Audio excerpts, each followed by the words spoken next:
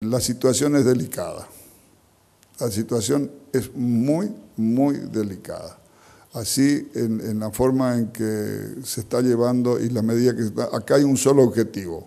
El objetivo es el compromiso que tiene con el Fondo Monetario Internacional del famoso déficit cero, que hay un este, Nobel este, funcionario que, que no es de aquí, pero es formoseño, eh, dice ser formoseño, no defiende los intereses de los formoseños, también repite como un cliché, pero sin saber ni de lo que está hablando.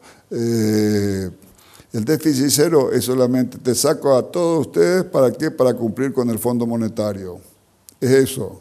el Fondo Monetario que proyectó, primeramente con todas las medidas que había este, enviado, que proyectó un incremento de un, superávit de 2.8, ahora va a ser un déficit, dice, de 2.8, dice al revés. O sea que lo está diciendo ya su propio, sus propios patrones.